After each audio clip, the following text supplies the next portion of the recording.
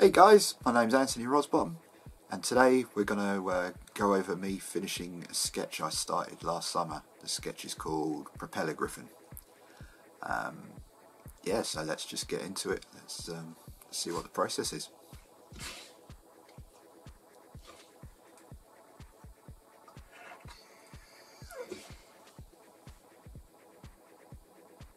Okay, here you can see I'm working on the, the forearm. The head's being done, the propeller's being done, uh, mouth and teeth, eyes, a bit of a body, bit of the upper body I mean, um, that's about it. Yeah, that's a clearer picture there. Yeah, my main technique with ink is uh, stippling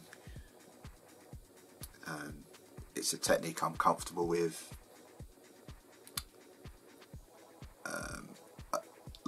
Cross hatching is a bit too untidy for me.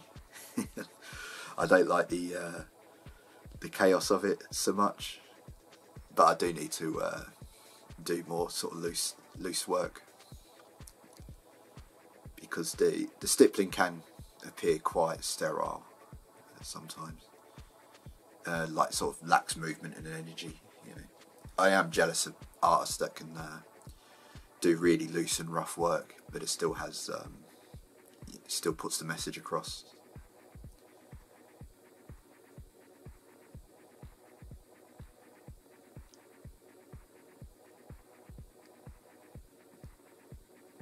Yeah, my main weapon of choice here is the uh, is a 0.1 millimeter fine liner.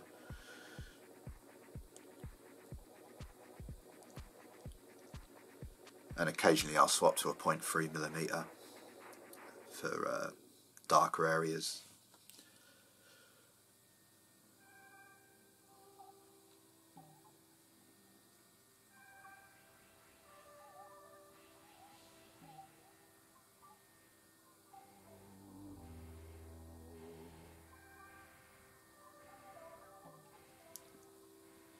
because it's been a few months since I started this sketch um, and I've just come back to it recently. I forgot about the shape of the forearm here. So you see I'm sort of missing out on the this, sort of flap of skin underneath. And I've just realised oh yeah I need to uh, I need to fill that in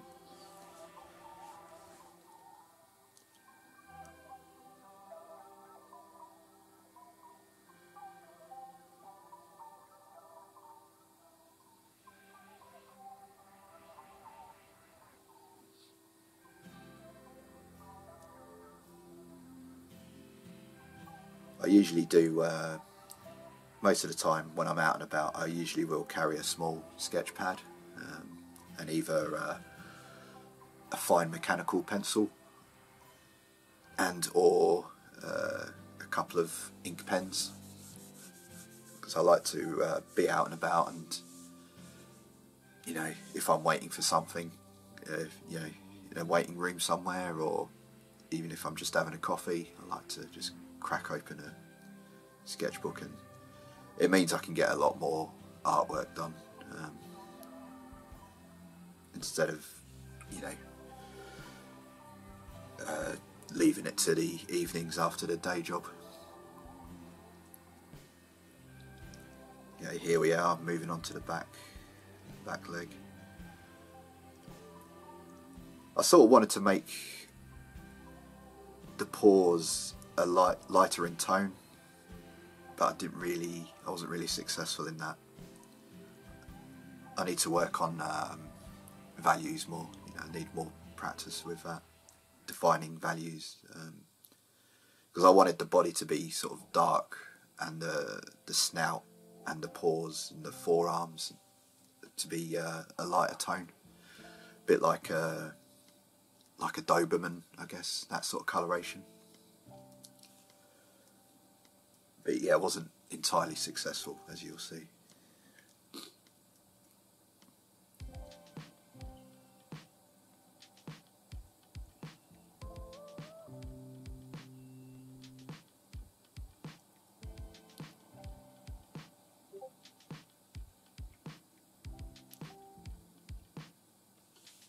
Yeah, just filling in the creases there in between its its toes.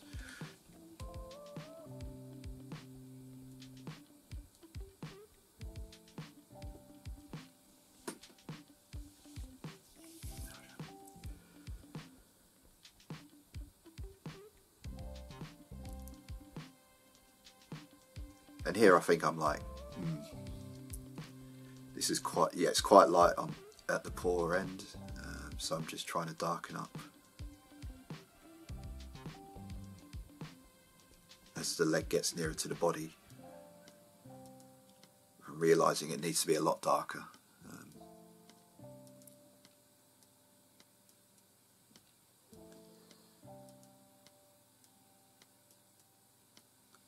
But still trying to keep a bit of the it's not very noticeable but trying to keep a bit of a sort of rim lighting.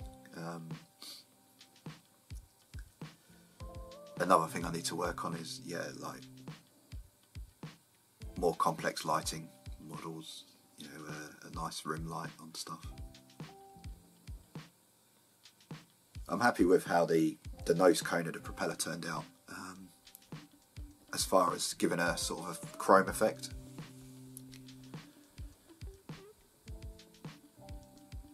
but it was a bit harder to uh, render the actual blade to the propeller.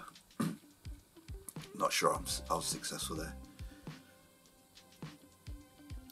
But I think I will take this um, black and white sketch into Procreate on my iPad um, and colour it digitally. And there I'll get a chance to uh, add more tonality, you know, define the tone, the tonal areas of the sketch better. The colour will give more information.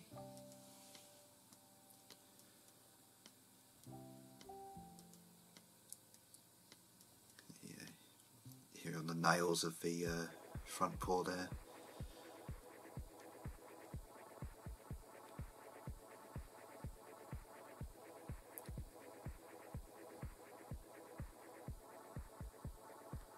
People have said to me before, you know, this stippling technique is, seems very slow. Um, I guess it's sort of like if there's light areas, it's faster than you think. Um, it's just the dark areas and the shadows that take a lot longer to slow you down. But if you need to represent a light area of the page, um, it's pretty quick. I guess any other technique like cross hatching um, would be the, would be the same.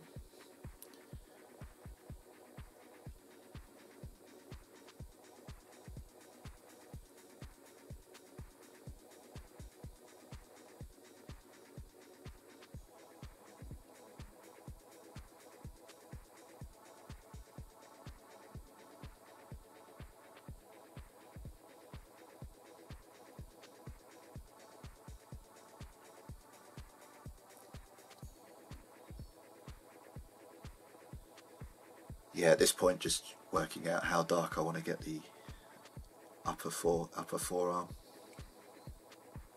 upper forearm, upper arm of the foreleg. uh, four-legged creatures. Uh, hard to know how to label the, the, the four limbs.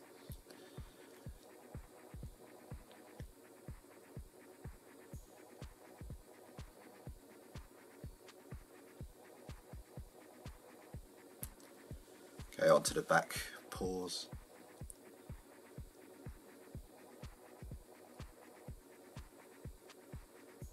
I think here I realise this is going to be a very dark bit.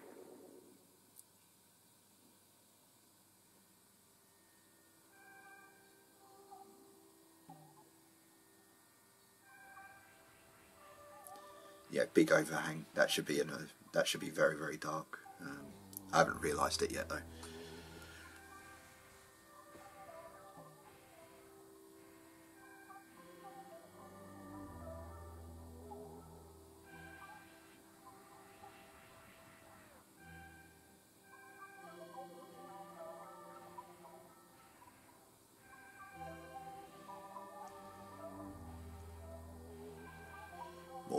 The toes.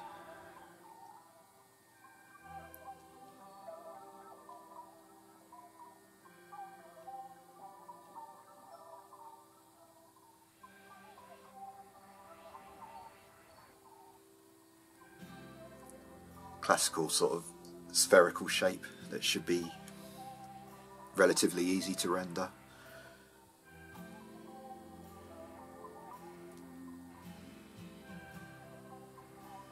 Always trying to remember to um, you know, break down organic shapes into their sort of basic forms to work out where the light's hitting it, where the light's bouncing back up into it. Um,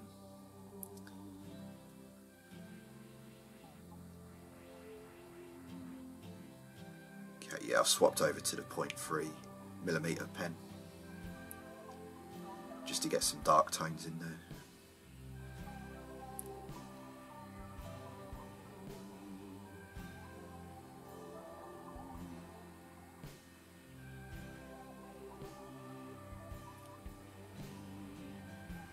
So this is where it's going to slow down I guess.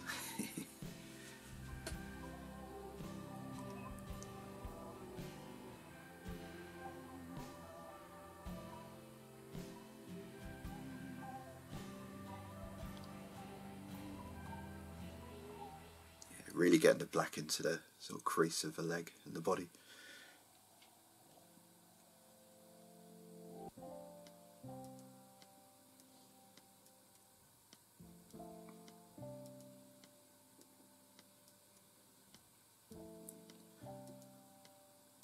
Again, just underneath the body, trying to retain a hint of the sliver of the bounce light as if the some of the light is hitting the ground and back up into the the underside of the body.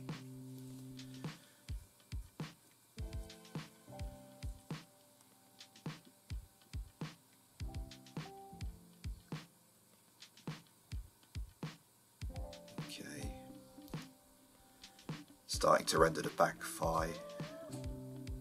Again, like leaving a blank area at the very bottom of the form just to uh, depict light bouncing off the paws back into the knee area.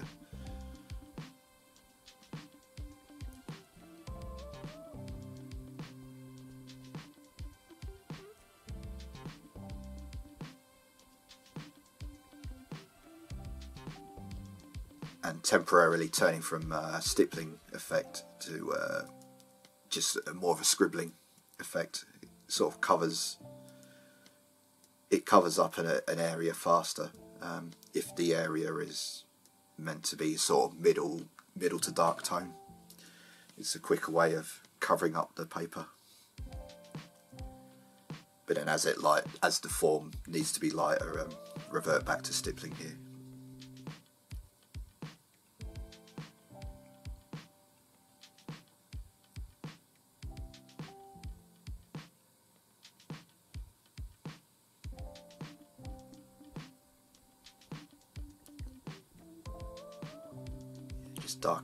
The sides as if the light's not managing to wrap around as much there. And then now diminishing the, the brightness of the sort of knee area. Knowing that I'm going to dark the upper thigh a bit more.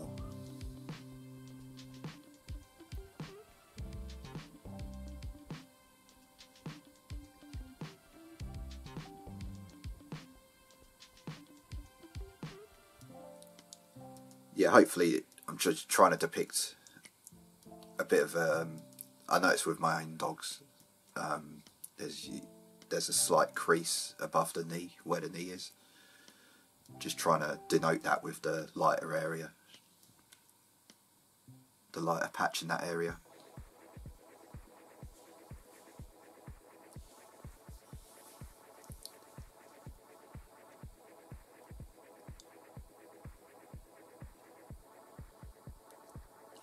darkening that side because not much light's going to wrap around that that bit according to my internal calculations.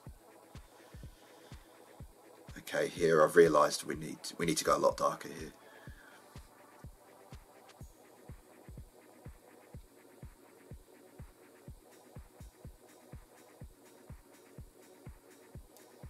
Yeah, bring back the uh, 0.3 millimeter pen.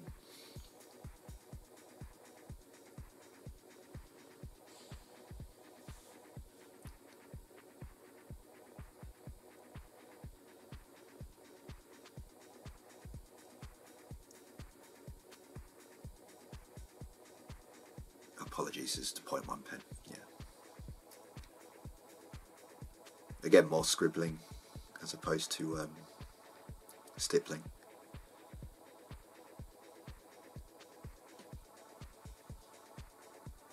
I think after many years of doing this, I can sort of, in a in a matter of, yeah, in a sort of gradiated way, I can go from scribbling to plotting dots with a stippling method.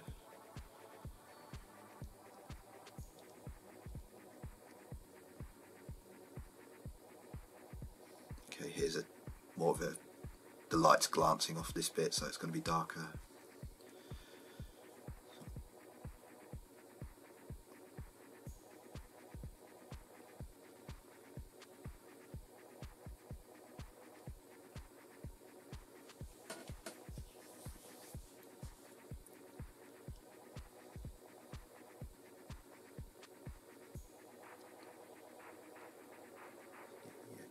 To the wing, this is going to be quite a bright area relative to the rest of the creature.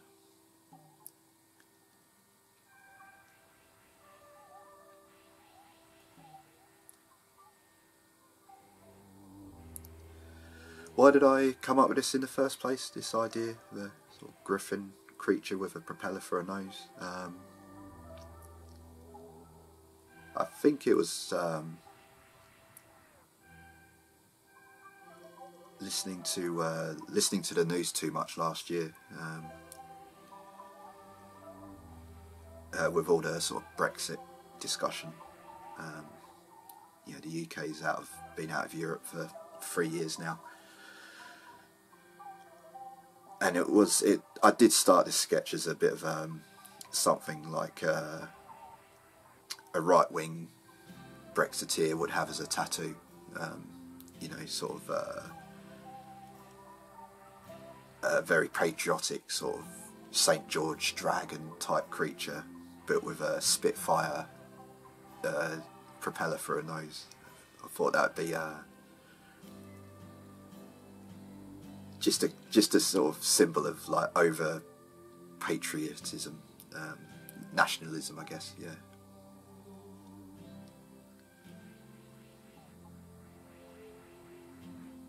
Yeah, obviously for the record, I wanted to remain in the EU. Um, here we are.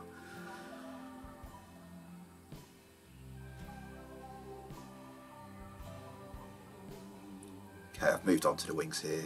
Um, trying to keep the shading quite flat, relatively flat.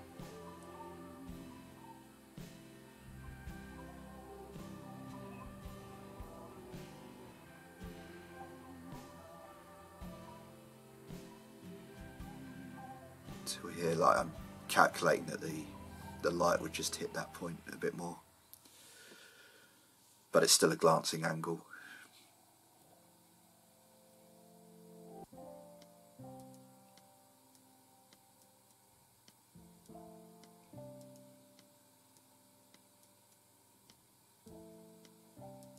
Just would like to point out if you're getting anything of uh, any value out of this so far yeah, please consider hitting the like button. Um, I'm new to this YouTube stuff. Um, but yeah, I definitely want to start creating more content, uh, more valuable content, you know, more tutorial sort of based stuff.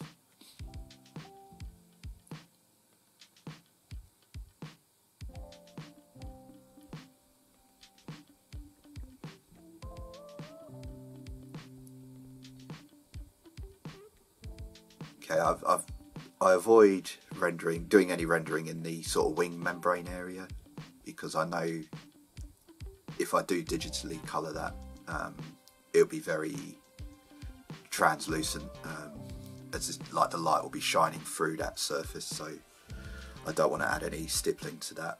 Um, I just want it to be more or less uh, luminescent, flat colour, um, really. when I get to the uh, digital colouring process.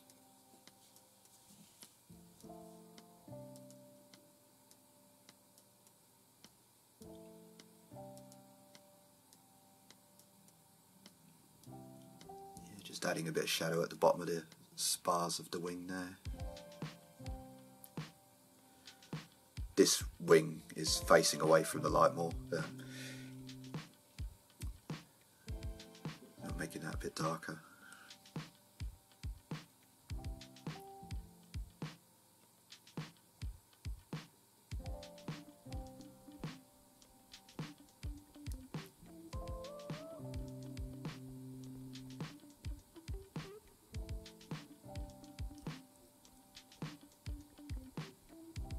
Thinking there's going to be a bit more shadow in this area. Like the wing's going to uh, stop light reaching that area in a, in a small way.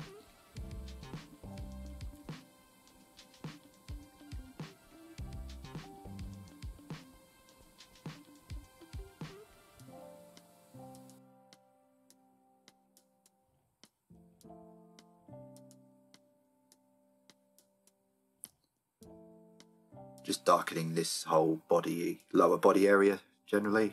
I'm thinking,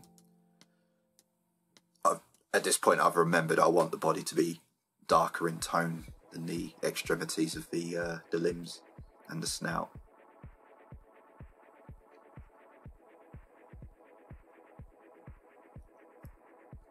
Just trying to keep that sort of crease of skin there. Um, what I like about the stippling technique is you do get a lot of happy accidents where the dots will line up. Um, and at first you feel like, ah, oh, it's really obvious that these dots are in a line.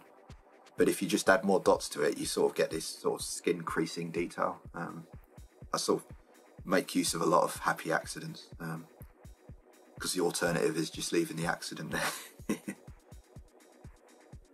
okay, on to the tail. Classic cylindrical rendering. You know, if you can render a cylinder, you can render a tail. Got the bounce light coming back off the floor at the bottom. This dark area that I'm doing, it's more like the horizon, like you'd see on a 1970s van airbrush painting. And then, uh, yeah, just now making the tail less shiny and just roughing it up a bit now.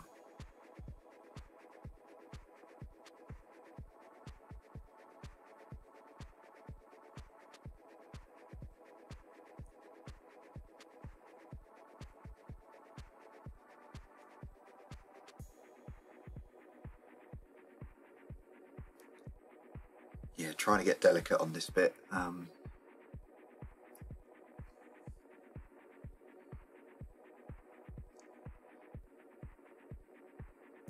yeah, it's weird. The small parts of a drawing, they're, they're very easy to overcook. Um, and being ink, you can't you can't really go backwards. It's very hard to correct. And if there's too much shading, it's very hard to correct. And again you just go into the mode of oh I always intended it to be that dark.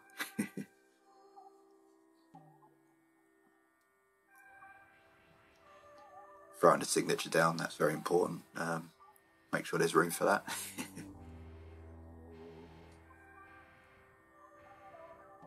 Some drawings I've, I've added the signature very, very early on in the process. Um, just because I don't want the hassle later on of uh, sort of fitting it in or and also I want to make it add to the composition not really take away from the composition and make it look jarring like the placement of the signature and yeah actually yeah just it just occurred to me this was my first ink drawing of 2023 yeah. this is some great YouTube footage you know the the hand obscuring everything.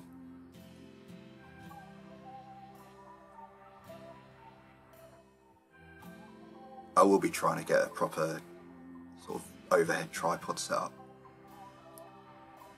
so I can film drawings like more or less flat on.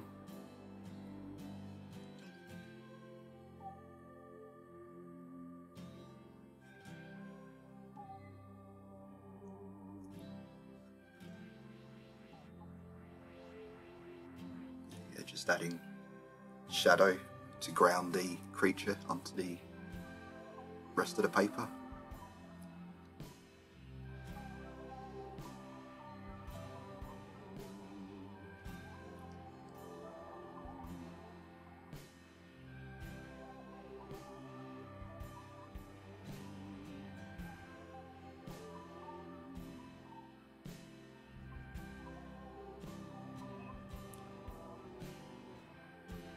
yeah, decided to darken up this uh, forearms.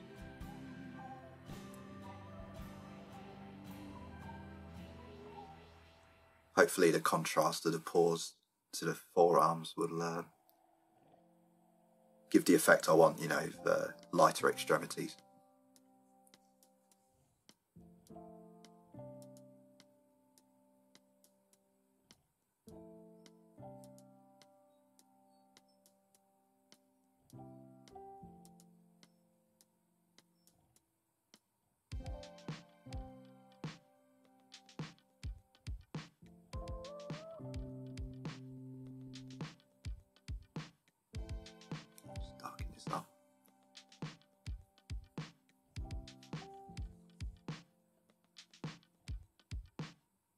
I like a lot of contrast in my um, drawings.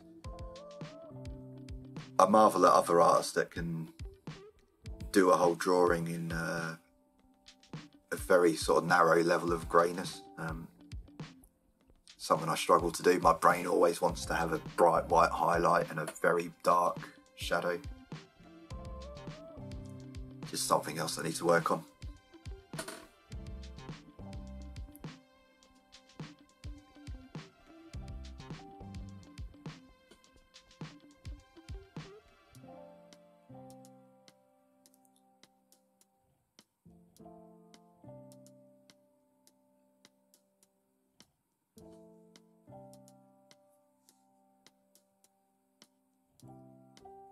Trying to give that toe the sort of rim lighting effect, as if there's a bit of a bright light coming from the side.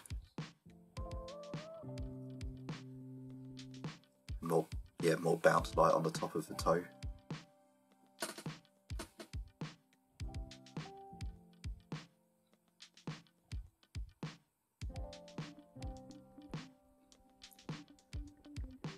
Yeah, I think at this point I'm like, the sort of back two limbs are sort of competing with the front two limbs. So it's like, okay, like really darken that up. So there's contrast between the back left leg and the front right arm leg.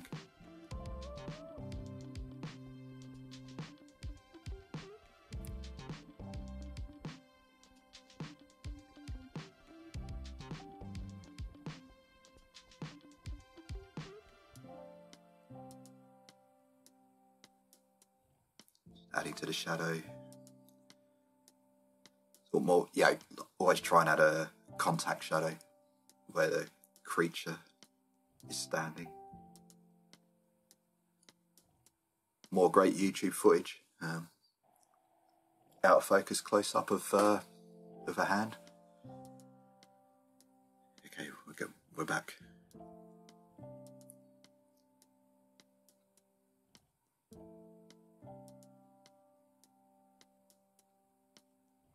Filling in the rest of this shadow because it needs to be darker there. The direction of the light means that the creature's going to obscure more of that background.